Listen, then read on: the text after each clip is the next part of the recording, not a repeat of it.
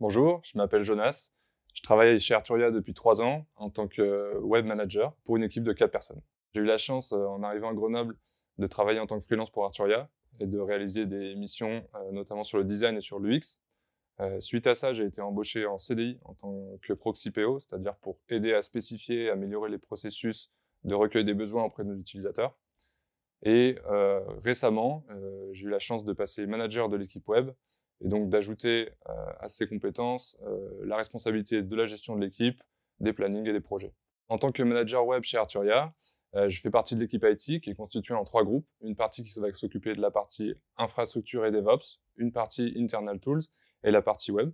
La partie web, elle se décompose en le site web qui est notre produit principal, qui contient le web store, mais également le forum pour notre communauté et la fac euh, côté support. Ce qui me plaît dans l'état d'esprit Arturia, c'est qu'on peut travailler avec des personnes qui sont ouvertes, qui ont envie de bien faire et de proposer des services et des produits euh, qui soit de bonne qualité, euh, qui soit centré autour du design et de l'expérience de l'utilisateur.